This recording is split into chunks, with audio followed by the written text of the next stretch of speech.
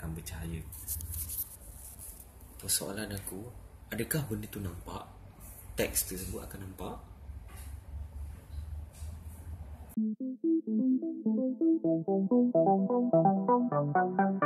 Hai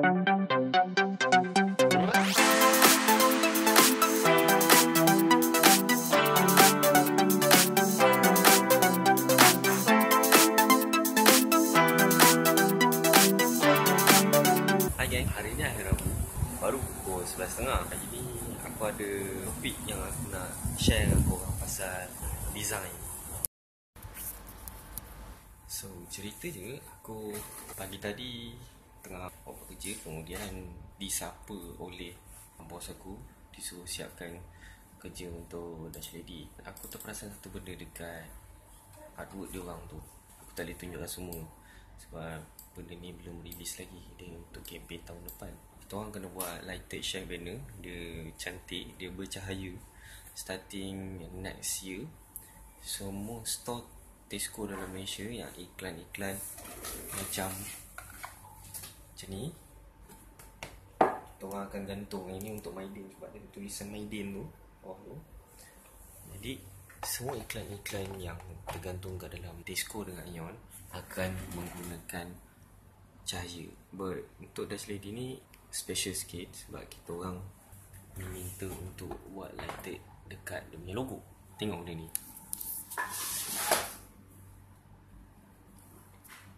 Dekat background dia tu which is yang ini putih. Dan tulisan dia pun putih. So bahagian yang nak dicahayakan adalah ini So Masalahnya kat sini Font putih Ini putih Kemudian akan bercahaya. Persoalan aku Adakah benda tu nampak? Teks tersebut akan nampak? Seronok sebenarnya bekerja dengan Klien-klien yang menghantar tu Dekat company aku. Oh by the way aku kerja media company Yang buat media-media macam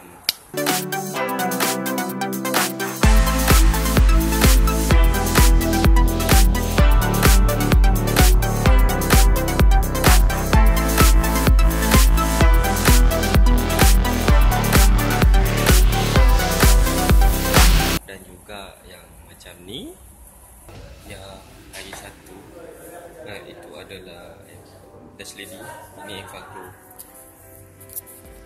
yang belum dipasang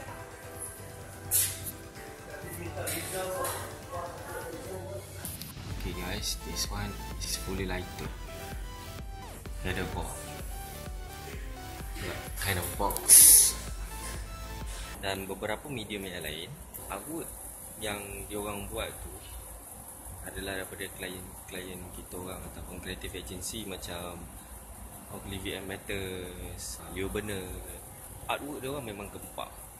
Tapi bos aku baru cerita bagi tadi, dia ada kawan namanya Johnny which designer dekat salah satu uh, syarikat Artana which is corporate lah. Dia lantik sebuah creative agency untuk design teaser syarikat hartanah dia tapi bila dia bawa tunjuk dekat management management tak setuju. Media dia adalah surat khabar. Dalam satu page tu cuma ada sedikit kuatkan ataupun bukaan untuk pintu yang mana di sebalik pintu tu adalah bangunan besar-besar. Bila visual tu dipersembahkan kepada higher management dia orang tak setuju.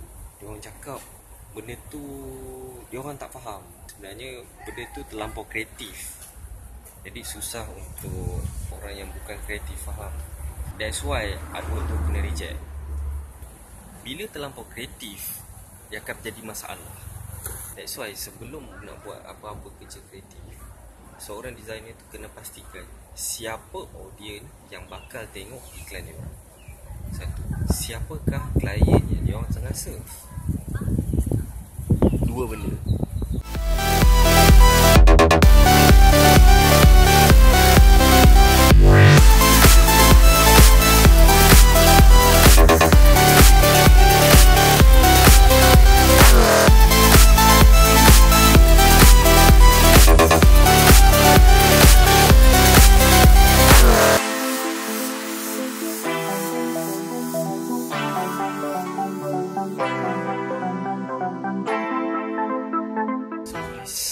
6.50 Macam biasa macam semalam Set up time lapse lagi Tak jauh, keliling office je. Ni set up time lapse aku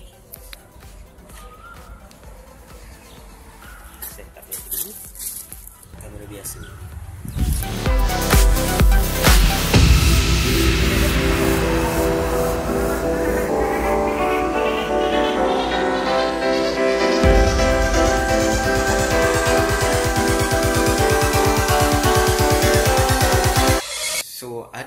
case yang mana uh, art director ataupun person in charge untuk creative work tersebut menjadi terlampau ego bila ada orang kritik dia punya artwork. Pada aku ini tidak menjadi satu masalah. Sebab apa? Bila klien ataupun audience tak faham kau punya artwork, jangan risau. Simpan artwork tu sebagai arkib. Kemudian kau create artwork yang mengikut spesifikasi dia orang. Sebab apa? Siapa tahu Artwork yang kau dah buat tadi tu Mungkin akan membantu In the next project.